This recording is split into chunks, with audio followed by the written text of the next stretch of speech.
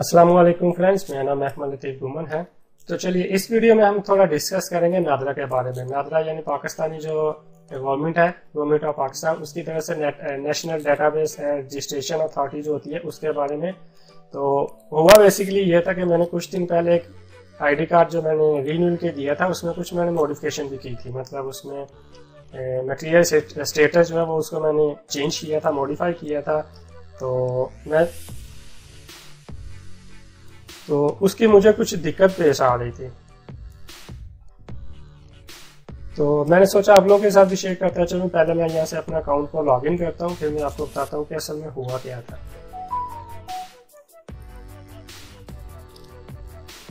तो लीजिए मैं अपने अकाउंट में लॉगिन हो चुका हूँ तो मैं आपको बताता हूँ बेसिकली असल में मेरी वो जो थी प्रॉब्लम वो तो सॉल्व हो गई है। सोचा मैं आप लोगों के साथ भी शेयर करता चलूँ ताकि आप लोग भी इसको फेस करना पड़े अगर आपको तो आप उसको किस तरह से सॉल्व कर सकते हैं।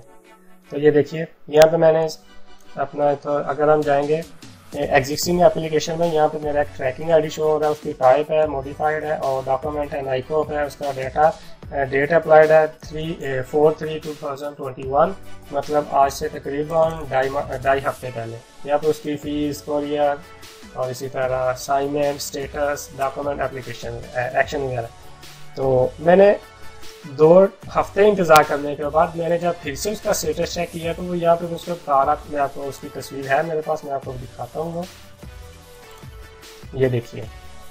ये वही आईडी कार्ड है, यहाँ पे आप ट्रैकिंग आईडी देख सकते हैं। तो मैंने क्या किया, ये जब मैंने ओपन किया इसका स्टेटस तो ये बता रहा था ये रिक्वेस्ट अगेंस्ट ट्रैकिंग आईडी ये उसका tracking ID is still not receive at NADRA headquarters तो ये check again after two working days तो इसी तरह मुसलसल जो ये था अर्जेंट मैंने अप्लाई किया था। तो जो अर्जेंट होता है, उसकी अप्रूवल जो होती है, वो तीन से चार दिन में मिल जाती है, लेकिन दो हफ़्ते के बाद भी मुझे ये चीज़ नहीं मिलती तो मेरा थोड़ा सा दिमाग घूमा तो ये क्या चल रहा है। खैर, दोस्त था मेरा, इसलिए उसने मुझे कुछ प्रेशराइज नहीं किया। तो उसके बाद मैंने कुछ सर्च किया, मैंने क्या किया पहले? मैंने जिद्दा मैसी है जो हमारे पास, उस पर मैंने कॉल की।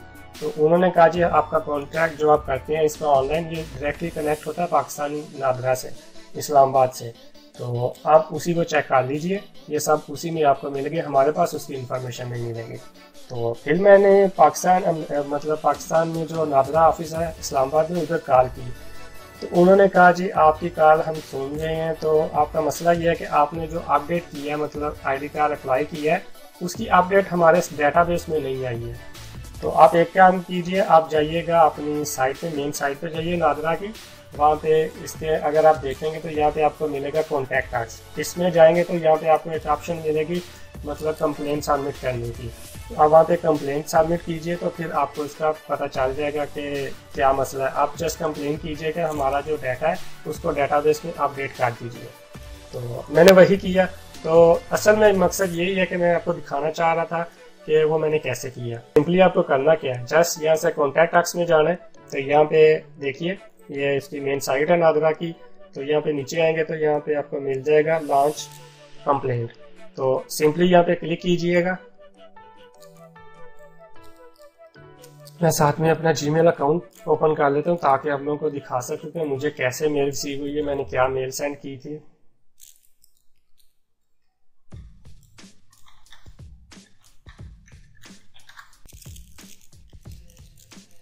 तो लीजिए, मैंने वो उसको मैंने लॉगिन कर लिया जीमेल को भी। अब मैं आपको बताता हूँ कि किया क्या था मैंने मैंने जस्ट यहाँ से लॉन्च कंप्लेन पे क्लिक किया। और यहाँ से कंप्लेन मैनेजमेंट जो सिस्टम है, उसमें मैं यहाँ से आ गया। तो इधर नीचे आएँगे, यहाँ पे आप देखेंगे। अगर तो आपने ऑलरेडी मतलब अप्लाई किया होगा कोई इसको अपनी सबमिट की होगी कंप्लेन तो आप यहाँ से उसको ट्रेस कर सकते हैं कि उसका क्या स्टेटस है। खैर, मुझे एक न्यू टिकट इशू करनी थी कंप्लेन की तो मैंने सिंपली यहाँ पे ओपन न्यू टिकट पे क्लिक किया। और उसके बाद ये मुझे कुछ फॉर्म दे दिया उन्होंने कंप्लेन मैनेजमेंट सिस्टम का। तो ये कॉन्टैक्ट इन्फॉर्मेशन थी, यहाँ पे मुझे फुल नेम देना था। और ये वही नेम देना था जिस नाम से मैंने आईडी बनाई थी। उसके लिए मैंने क्या किया, मैंने इसको क्लोज करता हूँ। यहाँ से ट्रैकिंग आईडी पे अगर आप क्लिक करेंगे तो यहाँ पे आपको उसका पूरा डाटा शो हो जाएगा जो आपने अप्लाई किया होगा। तो ये देखिए रिव्यू योर प्रोवाइडेड इंफॉर्मेशन यहाँ से नीचे आता हूँ अगर। तो ये रहा वो बंदा जिसका मैंने किया था। तो खैर, ये आपको शो नहीं होगा क्योंकि मैं इसको ब्लॉक कर दूँगा, थोड़ा सा हाइड कर दूँगा क्योंकि इस पर पर्सनल इन्फॉर्मेशन है। तो खैर फल फुल आप नेम था। मैंने सेम टू सेम वहीं से कॉपी किया इसका जो नाम है यहाँ से देखिए गिवन नेम और सर नेम दोनों को कॉपी किया और यहाँ से फुल नेम में पेस्ट कर दिया। इसी तरह मोबाइल नंबर दिया उसके बाद ईमेल एड्रेस दिया जो वे, वेरीफाई था मतलब मेरा। उसके बाद यहाँ से आपने कंप्लेन सेलेक्ट करनी है कि आप कौन सी कंप्लेन करना चाहते हैं। जन यहाँ पे जनरल कंप्लेंट है अगेंस्ट नादरा सेंटर है अगेंस्ट नादरा ऑफिशियल है। तो मैंने अगेंस्ट नादरा सेंटर में किया इसको सिलेक्ट और यहाँ से ट्रैकिंग आईडी मैंने सेम टू सेम वहीं से यहाँ से कॉपी की और इसको यहाँ पे पेश कर दिया। सी एन आई सी नंबर यहाँ से सेम टू सेम कॉपी किया, यहाँ से और इसको भी वहीं पे कॉपी कर दिया। और कैटेगरी मैंने सेलेक्ट की थी नेशनल आइडेंटी कार्ड है, यहाँ से national identity card overseas Pakistani मैंने इसको यहाँ से सिलेक्ट कर लिया और सब्जेक्ट दे दिया था यहाँ पे मतलब स्टेटस अपडेट का या कुछ भी आप टाइप कर सकते हैं, इसका कोई इशू नहीं है। उसके बाद यहाँ पे रीज़न दे सकते हैं आप। जैसा कि रीज़न आप देना चाहें तो मैं यहाँ से अगर वापस जाऊँ एग्जिस्टिंग एप्लीकेशन में तो उसी फ़ाइल का मैं स्टेटस ओपन करता हूँ। मैंने सिंपली इसको यहाँ से कॉपी किया और मैं आपको दिखाता हूँ। कॉपी करता हूँ और इसको यहाँ पे पेस्ट कर देता हूँ। तो ऐसे मैंने पेस्ट कर दिया था। तो उसके बाद कुछ भी आप इंग्लिश में भी टाइप कर सकते हैं, आप रोमन उर्दू में भी कर सकते हैं उर्दू में भी टाइप कर सकते हैं, जो भी है आप यहाँ से कर सकते हैं, और उसके बाद यहाँ पे ये इमेज जो है, इसका नंबर मैंने एंटर किया यहाँ पे तो उसको क्रिएट टिकट पे मैंने क्लिक कर दिया। और जब मैंने क्रिएट टिकट पे इशू की क्लिक किया तो मुझे ये दे दिया उन्होंने, ये देखिए, ये मेरे पास स्पोर्ट की तरफ़ से एप्लीकेशन स्टेटस है। ये उन्होंने एक टिकट इशू कर दी मेरे नाम पे, ये देखिए डियर मोहम्मद महमूद तो D A complain your application has been receive and you you will be get an E notification regarding status update for your application within twenty four hours मतलब उन्होंने कहा कि आपको ट्वेंटी फोर आवर्स के अंदर आपको इसकी रिसीव हो जाएगी मतलब मेल अप्रूवल आ जाएगी कि आपका स्टेटस जो है मतलब कंप्लेन वो सबमिट हो चुकी है।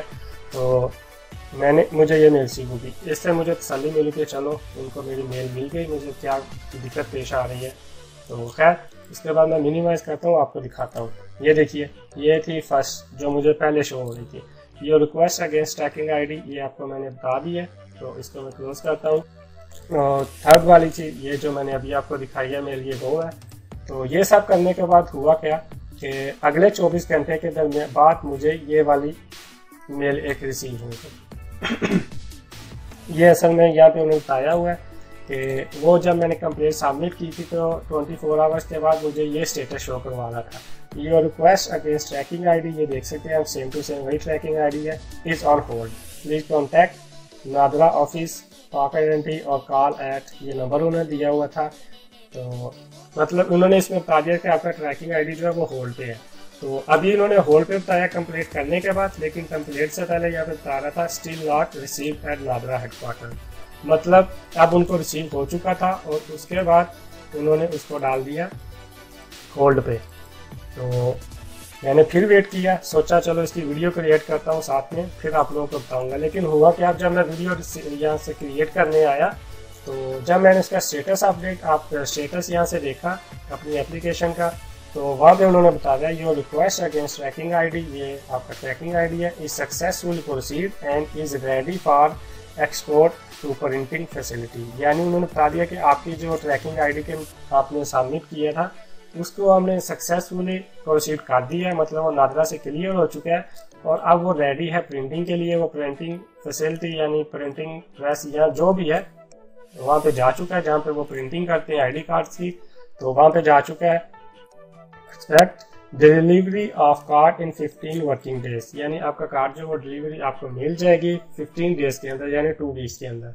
तो खैर, मुझे सिर्फ़ आप लोगों को बताना था कि ऐसा भी होता है तो आप अपना दिल छोटा मत कीजिएगा, क्योंकि मेरे साथ ऐसा पहली दफ़ा हुआ था, मुझे थोड़ा सा ना बहुत अजीब लग रहा था कि यार यार मैं क्या करूँ? पाकिस्तान कॉल करता हूँ, वो मुझे बता रहे थे कि आप ऑनलाइन अप्लाई करें। अगर मैं एम्बेसी कॉल करता तो वो कहते थे, आपने डायरेक्टली पाकिस्तान में हेडक्वार्टर में अप्लाई किया तो आपको वही गाइड कर सकते हैं। खैर, मेरा मकसद आप लोगों को बताने था कि आप सिंपली यहाँ से जाइएगा कंप्लेन में यहाँ से कंप्लेन सेंड कीजिएगा लॉन्च करें और उसको सबमिट कर दें तो इनशाला आपको रिप्लाई आएगा। और ये एक अच्छी सर्विस है, इसलिए मुझे बहुत खुशी हुई कि पाकिस्तान इन मतलब अच्छी साइड पे अच्छे अच्छे ट्रैक पे जा रहा है। तो खैर, आप लोगों को समझ आ गई होगी कि मैंने आप लोगों को क्या बताया था और इसमें हमने किस बारे में डिस्कस किया है। खैर, इस वीडियो के लिए इतना ही। थैंक्स फॉर वॉचिंग फ़ी अमान हाफिज़